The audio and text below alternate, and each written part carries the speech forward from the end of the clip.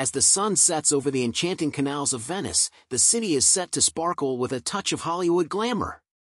Angelina Jolie, the epitome of elegance and sophistication, has arrived at the Venice Film Festival, bringing with her a stunning display of style and grace.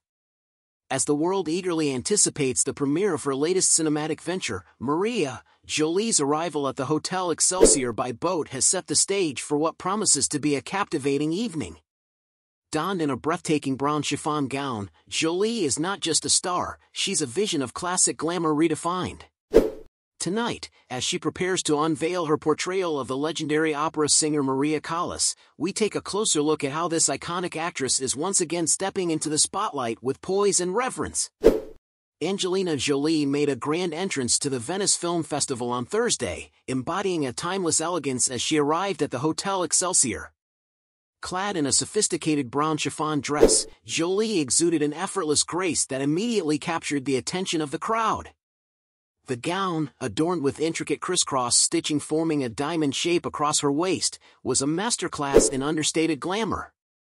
Complementing the dress, she wore matching heels and stylish sunglasses, gracefully waving to fans as she disembarked from her boat. This appearance is not just a red carpet moment but a significant event as Jolie is in Venice to promote Maria, a biographical drama that has already stirred excitement within the film community.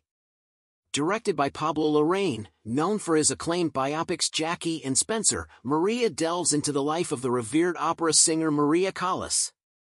Jolie, who stars in the title role, brings to life Callas's complex and fascinating persona. In her preparation for the role, Jolie has expressed a profound respect for Callas's legacy, stating, I take very seriously the responsibility to Maria's life and legacy. I will give all I can to meet the challenge. This sentiment underscores Jolie's commitment to portraying Callas with the depth and authenticity that the role demands. The film, produced by Fremantle and written by Steven Knight, promises to offer a rich and detailed exploration of Callas's life, from her extraordinary vocal talents to her personal struggles and triumphs. For Jolie, this role is not just another acting gig but a deeply personal project. The actress is not only playing one of the 20th century's most iconic opera singers but is also wearing some of Callas's original costumes in the film. This inclusion of vintage items from Massimo Cantini Parini's archive adds a layer of authenticity and historical reverence to her portrayal. Jolie's previous roles as high-profile figures, such as Gia Carangi in Gia and Mariane Pearl in A Mighty Heart, have showcased her ability to bring real-life characters to the screen with emotional depth and nuance. With Maria, Jolie aims to continue this tradition, capturing the essence of Callas's life and career with sensitivity and respect.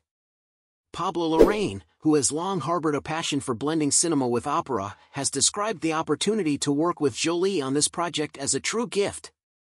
His excitement is palpable as he describes the film as a long-awaited dream. Larraín's directorial approach promises to bring a unique and compelling perspective to Callas's story, further elevating the anticipation surrounding the film. The film's production was granted a SAG-AFTRA interim agreement, allowing it to proceed even amidst industry strikes, a testament to the strong belief in its potential and importance. Maria Callas, born in 1923 and passing away in 1977, is remembered not only for her extraordinary voice but also for her dramatic and often turbulent personal life. Her fierce rivalry with Italian opera singer Renata Tebaldi and her many high-profile romances have made her a captivating figure both on and off the stage. The film will explore these aspects of her life, culminating in her poignant final days in Paris, where vision problems left her nearly blind. Maria aims to honor her legacy by painting a comprehensive portrait of the woman behind the legendary voice.